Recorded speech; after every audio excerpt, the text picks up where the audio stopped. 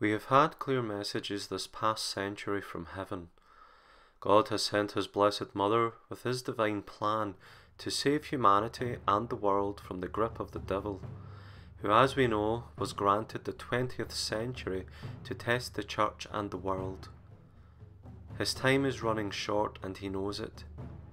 From Fatima and Garabandal to Akita and now Medjugorje, our Lady has given clear messages and predictions of what is coming to us, many of which have already come true. There is another famous apparition site which has great significance in this battle of the century. This place is Amsterdam, where our Blessed Mother introduced herself as the Lady of all peoples.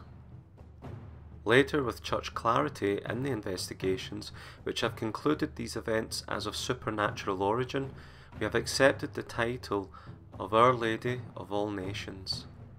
Over the span of 14 years, beginning on the feast day of the Annunciation, on March 25, 1945, Our Lady appeared to Ida Peerdeman, giving her many messages and showing her many visions of future events.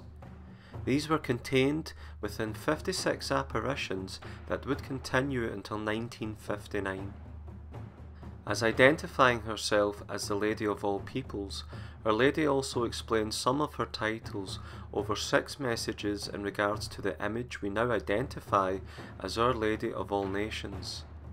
Within this image, she explained it by detailing the symbolisms which identifies her as advocate, mediatrix of all graces, and co-redemptrix with Christ.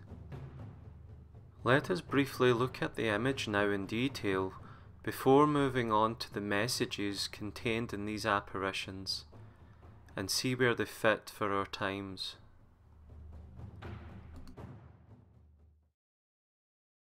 Her hands have radiant wounds, thereby Mary describes them as the suffering of body and soul which she bore in union with her divine Son for the redemption of mankind. She is the mediatrix of all grace. It's as if there had been a wound in the middle of her hands. From them, three rays of light are coming forth, shining upon the sheep. These rays represent grace, redemption, and peace. Grace from the Father, redemption from the Son, and peace from the Holy Spirit. She explains that her loincloth is the loincloth of her Son, for she stands as a lady before the cross. She then explained the meaning of standing upon the globe. I firmly placed my feet upon the globe, for in this time the Father and the Son wants to bring me into this world as co-redemptrix, mediatrix, and advocate. In a biblical representation, Mary shows many sheep around the globe which symbolize all the nations and races of the earth. Then she says that they will not find true rest until they lie down in tranquility look upon the cross as the centre of this world. Co-redemptrix is very unique in these apparitions, a title that is not given to her by the Church, but is very much a topic of debate. With four Marian dogmas already infallibly declared, can all this work she has carried out this past century be the clear proof we need to bring this fifth dogma of co-redemptrix into play. We will now look at some main messages concerning our time as given by our Holy Mother in Amsterdam. We will then explore where these apparitions fit with Heaven's plan. The messages include several social and political predictions, specifically in our own time. These messages reveal a staggering fulfillment and are becoming more and more identifiable. With so many apparitions spanning the course of 14 years, we can categorize some of them as follows and see where they are connected. A new split in the world, China, Russia, and the United States specifically, the chaos in the Middle East, and the Pope and the Church. We only have to turn on the news right now, or even hearing those places or people straight away we trigger what's happening right now and has been for quite some time, only going on to becoming worse before it gets better. Her messages also reveal a period of increasing moral degeneration, disasters, and war, which end in total catastrophe unless humanity converts. Let's compile a few of these messages together and read them. Then, in a few moments, we will then relate to them in our own times.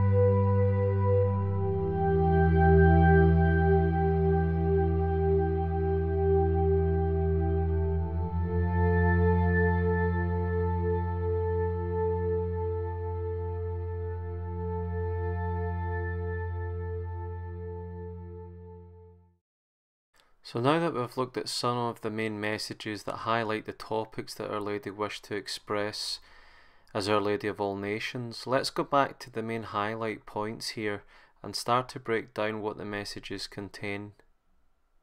She spoke of moral degeneration, disasters, war, which ultimately, in the end, leads to a total catastrophe.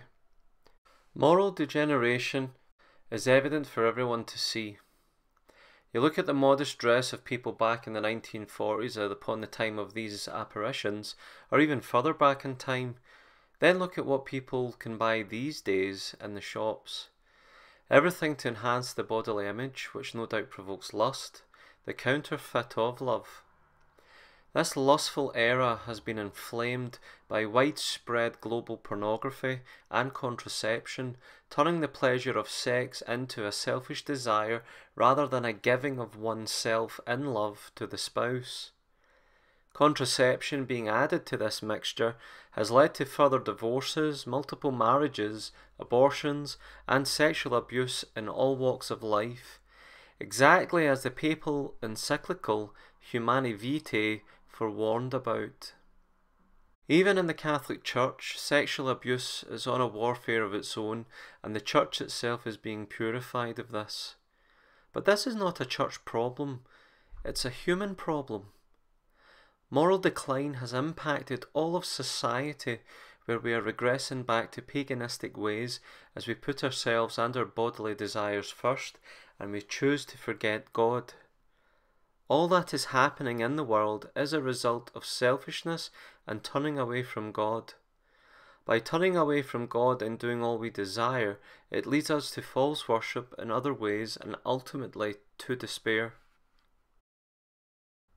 With all that's been going on since the so called War on Terror that began 17 years ago or so, America and its allies have been in constant state of war. Iraq, Afghanistan, Libya, Yemen, and now the main focus is in Syria. However, out with the direct action, we also see other countries such as Egypt, Turkey, Venezuela, Argentina falling into economic despair and social division. Europe and the West have managed to steer out of the worst recession ever recorded these past few years.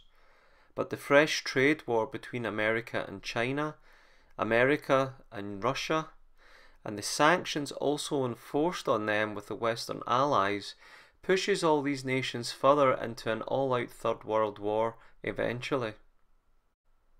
Our Lady warned of this 60 years ago. Syria is the stage where Russia stood up against America and the West and has had a standoff with them these past several years. President Trump seems to be bringing some peaceful news in regards to the relationship with North Korea, but is it pretense? Is it another place for a strengthening of their military in order to take on the superpowers of Russia and China? Then we think of the Middle East. We only need to watch the daily news channels and check online to see how obvious all this now is. In fact, we are so used to it, we have become desensitized and keep it with our TV viewing. But this should also be alarming at how rapid so many things are happening at once. The Middle East remains the central area of the focus of the world. As if what we have highlighted already wasn't enough, recently President Trump has now moved the American embassy to Jerusalem. This has provoked daily battles between Israel and Palestinians, which are now increasing yet again, and many videos are emerging showing the cruelty of Israeli soldiers and what they're carrying out on Palestinian civilians. Recently, there's now even further friction that Israel may be looking as a preemptive attack against Iran, its sworn enemy. With America dug into so many nations around the Middle East and playing off all other nations, what's left or how long is left until Iran is the next on the list? But just like Syria, Iran has very good and deep ties with China and Russia. It's a game of chess in the end. How many moves ahead before eventually it's checkmate? Now, America, this past month or so, has announced that they plan to create an elite space force in order to dominate warfare and the planet. Where are we heading and how much time is left before all hell breaks loose? We know that things are happening and people see the obvious path that lies ahead if things do not change for the better. But why are they happening? Why is it bad things dominating our planet? Why does so many bad things happen in order for so-called peace? Is there another reason? If God exists and sent us these messages through our Blessed Mother, then what is the root cause of these things that will ultimately bring to the destruction of the planet? As already pointed out, the world, especially the West, has forgotten God and created in his own image and likeness rather than the image and likeness of God. This is humanity's own doing, and soon we'll be humbled enough to realise where we went wrong. There is a spiritual battle in the depth of all of this. As in Fatima and Akita, and now here in Amsterdam, Our Lady talks about the danger of world catastrophe, but always as being conditional. She has been sent precisely in order to avoid or mitigate it. The purpose of, the prophecy is not to announce an inevitable fate, but to give a remedy to prevent it. This remedy is conversion, repentance, and prayer. This brings us to the essence of these messages, which is to testify to the spiritual battle going on in our times. The social and political predictions are just a prelude, as Our Lady points out, especially in the spiritual fight that exists, veiled behind all these external events. All the bad going on is what Satan is trying to bring. He has very little time left, and his whole plan of the century Everything, all the toys are coming out the playpen now. Many times again and again, Our Lady points to moral and spiritual degeneration as the core crisis in the church and in the world, and that the forces that are behind this, religion will have the hard struggle. The world wants to take away the religion, and I dare say, from the globalization point of view of a new world order, man himself will set up his very own, which has been prophesied elsewhere.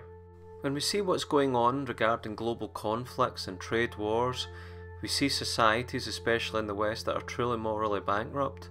Societies that have become so lost, especially since the mid 20th century. The traditional image of the family has been completely changed by those in hierarchical power, and with the church maintaining its tradition and teachings, it is therefore an obstacle to the New World Order. We can't say there are weapons of mass destruction hiding in St. Peter's Basilica under the Vatican, that card's already been played with Iraq. But what better way to bring down the church, the moral guidance for humanity, and to show the evil within it? The evil of these sex abusers, of those who were entrusted as our guiding lights to heaven, the church, since the Boston scandal in 2002, has been made more accountable for its crimes, and rightly so. But this past month, with the Holy Father attending the World Meeting of Families in Dublin, much of the news coverage was dominated by those wishing to speak of the crimes more than that of what was happening of this week long celebration. Pope Paul VI stated in the 1960s that the smoke of Satan had entered the church. Now we see how much so with what is coming to light. Since Fatima, through Akita, Garabandal, here in Amsterdam, and presently in Medjugorje, Our Lady has been working on this plan of the century to not only have humanity saved, but also to save the church. The timing, the content, and fulfillment of so many things, we should be taking heed more than ever and convert, pray, and repent as she asks. If not, then what has been forewarned will ultimately happen. We have been given the remedy.